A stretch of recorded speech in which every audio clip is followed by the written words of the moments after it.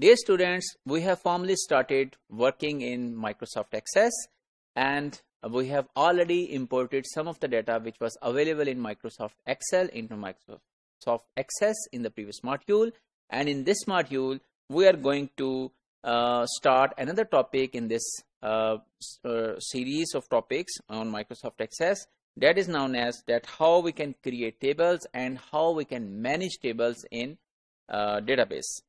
So we will uh, try to uh, cover uh, how uh, tables can be created, how we can add fields, how data can be added and how we can update and delete the records and even the tables. So let's start the practical. So this is the Microsoft Access environment and in this environment uh, uh, we have started to use the previous file which was already opened in the previous module and this file has already a table of 220 which was extracted in the last module and then it has also the student table. So just uh, uh, let's make another table uh, a new table. So for example you go into create and then you click on table. So uh, this at the moment is known as table 1 so let's try to save it first so that the name of the table can be saved. So for example, we want to put the name of the table as course. So this is a course table. So tables mean uh, one logical uh, related uh, record, um, set of records. So for example, student will have one table. So all of the information related to student will be stored in student table so all of the information related to courses will be stored in the courses table. And you will also learn that how we uh, try to make tables uh, in database management system uh, course in next semesters. So at the moment we are not interested in how you make a database and how you get to know that uh, which table can be created and which table will have which fields.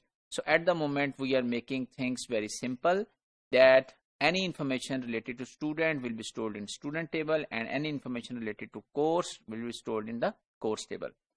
So how we will further define the course table?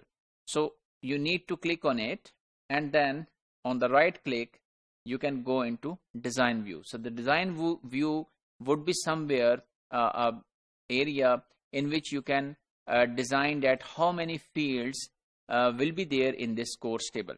And then you can also do the same thing by clicking on course go on to create and then you can click on design. So whatever way you follow so for example we follow this way. So here uh, we have the course. The first field is id and that has different types. So for example, we are interested to store one course ID and that course ID would be of data type number, text, date, time, currency, auto number or some other field. So our course ID would be of number.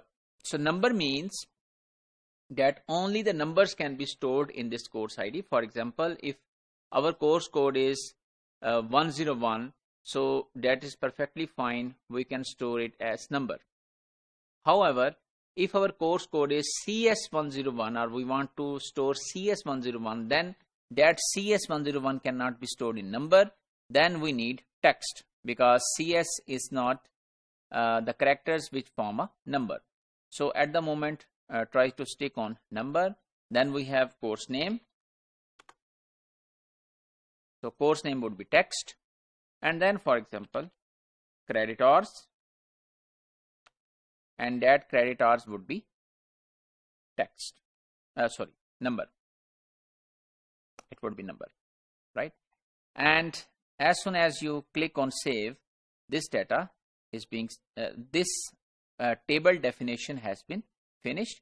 And you can go into the courses by right uh, by double clicking on it and then you can see that this table is asking us to fill the values. So for example we are interested to say we are saving 101 that is ITC credit hours are 4 for example. Then 102 another field is added. So i'm just uh, focusing a particular field and entering the data. So for example that is physics. And that has three credit hours 103 that is for example english that has three credit hours then 104 calculus and that has three credit hours so whenever you have entered the data you need to click on save. So this data has been stored. So for example if you go to the other table and then you come back to the main table so you can see that these four records are already have been stored so we have created a table we have added the fields and we have added the data. Now if you want to delete any record from this table so you just need to focus that record and then you can just delete it. So for example let's move to the deletion process. So for example here we want to delete this record. So it's asking you are about to delete one record which was it was 102 it has already um, deleted and it is showing but if we select no it will it will be reverted. So we are interested to delete physics and we said okay delete record and that 102 has been deleted and once it's deleted you need to click on save. So this is how the values in this table are filled and how the uh, field is deleted and then if you are interested to update so for example now we are interested to say that this is not calculus this is calculus 1 so you can just add dash 1 come over here again. 1 so calculus 1 is added over here. And once it is added so press on save so this save will save these changes. So this is how the data would be updated. So if you go to the student and then come back so you can see that this has been updated. So we have seen that how the table is generated how the records are added how the records are deleted and how the record is updated. So one important thing for any table is that it should have a primary key so here you can see a key. So this means that all of the information present in this table uh, any of the record uh, will be uniquely identified using course ID this means that there could be no uh, two courses having the same code. So if that is the case then it's not the primary key. So for example if we do like this so it says the changes requested to the table were not successful because they would create duplicate values in the index, primary key or relationship, change the data in the field or fields that contain duplicate values, remove the index or redefine the index to permit duplicate entries and try again. So it is not um, uh, giving us a chance to make it the same. So this means that we even cannot forcefully enter any of the values which are duplicated in this uh, table on course ID field. So any field in a table should be a primary key and then there was another thing which I want to show if I go on student table and design view and then it's saying auto number.